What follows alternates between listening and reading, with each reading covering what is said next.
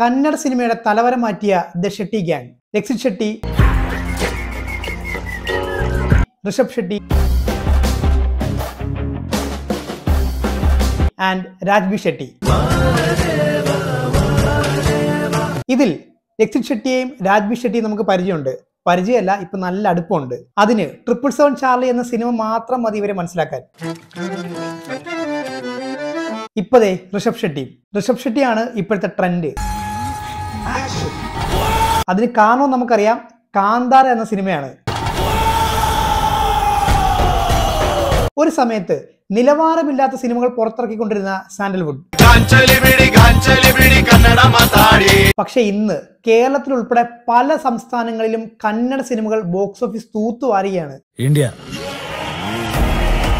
ഋഷഭ് ഷെട്ടി സംവിധാനം ചെയ്ത കാന്താര എന്ന് പറഞ്ഞ സിനിമ ഇത്രയും വലിയൊരു ഹിറ്റ് ആയപ്പോഴാണ് കന്നഡ സിനിമകളുടെ തുടർച്ചയായ വിജയത്തിന് പിന്നിലെ ദ ഷെട്ടി ഗ്യാങ്ങിനെ പറ്റി അറിയാൻ സാധിച്ചത്. രണ്ടായിരത്തി പത്തിൽ അരവിന്ദ് കൗശിക് സംവിധാനം ചെയ്ത നം ഏരിയൽ ഒന്നിന എന്ന സിനിമയിലൂടെയാണ് രക്ഷിത് ഷെട്ടിയുടെ തുടക്കം.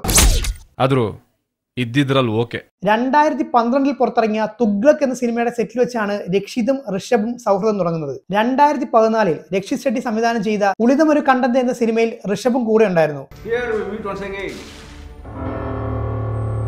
രണ്ടായിരത്തി പതിനാറിൽ ഋഷഭ് ഷെട്ടി സംവിധാനം ചെയ്ത റിക്കി എന്ന സിനിമയിലെ രക്ഷിതായിരുന്നു നായകൻ. ഹെഗൽ ജനേഷ് അതേ വർഷം ഡിസംബർ മുപ്പതിന് ഋഷഭ് ഷെട്ടിയുടെ സംവിധാനത്തിൽ പുറത്തിറങ്ങിയ കിറുക്ക് പാർട്ടിയിലും രക്ഷിതായിരുന്നു നായകൻ. വിച്ച്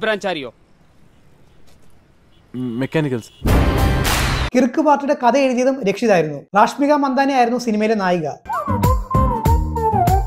ബോക്സ് ഓഫീസിൽ അൻപത് കോടി നേടിയ സിനിമയായിരുന്നു കിർക്ക് പാർട്ടി. രണ്ടായിരത്തി പതിനെട്ടിൽ ഋഷഭ് എഴുതി സംവിധാനം ചെയ്ത സർക്കാരി ഹിരിയ പ്രാഥമിക ശാല കാസർഗോഡ് കൊടുകെ എന്ന സിനിമയുടെ സംഭാഷണങ്ങൾ എഴുതിയവരിൽ ഒരാൾ രാജ്ബി ഷെട്ടിയായിരുന്നു. ഇനി രാജ്ബി ഷെട്ടിയുടെ സിനിമാ കരിയറിലേക്ക് പോകുകയാണെങ്കിൽ രണ്ടായിരത്തി പതിനേഴിൽ അദ്ദേഹം എഴുതി സംവിധാനം ചെയ്ത ഒന്ന് മൊട്ടയ കഥ എന്ന സിനിമയാണ് മലയാളത്തിലേക്ക് റീമേക്ക് ചെയ്ത വിനയ് ഫോർട്ട് ചിത്രം തമാശ. രണ്ടായിരത്തി ഇരുപത്തി ഒന്നിൽ രാജ്ബി ഷെട്ടി തന്നെ എഴുതി സംവിധാനം ചെയ്ത ഗരുഡ ഗമന ഋഷഭ വാഹന എന്ന സൂപ്പർ ഹിറ്റ് ചിത്രത്തിൽ അതിനോടൊപ്പം ഋഷഭ് ഷെട്ടി ഉണ്ടായിരുന്നു. ഈ സിനിമ നമ്മൾ പല ആൾക്കാരും കണ്ടിട്ടുണ്ടാവും.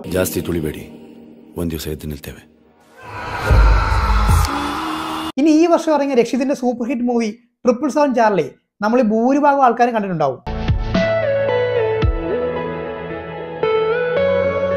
ട്രിപ്പിൾ സെവൻ ചാർലിയിലെ സംഭാഷണം എഴുതിയതിൽ ഒരാൾ രാജ്ബി ഷെട്ടി ആയിരുന്നു. ഇനി പറയാനുള്ളത് കാന്താരെ പറ്റിയാണ്.